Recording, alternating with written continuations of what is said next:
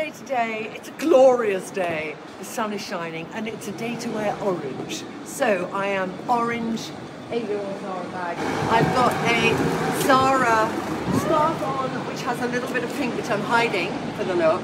Um, and then I've got a shirt on given to me by Madeline Spencer and it's a beautiful shirt from Escada and she didn't wear it anymore and I didn't want the average collar moment so I've tucked it in in my new way of wearing a shirt um, which is just to give a little bit more detail Roksanda gilet Victoria Beckham trousers Zara boots this season Zara jacket three years ago Symphony in orange and I think I've got some really old Cha Cha on my lips I was going to do that but that's not the way that I wear a scarf Anyway, oh, where are my glasses from? Because I love the bloody glasses.